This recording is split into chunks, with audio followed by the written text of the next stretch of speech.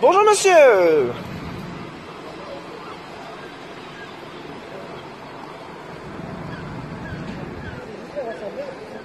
Hein En plus, c'est pire ce qu'ils font, c'est le rassemblement.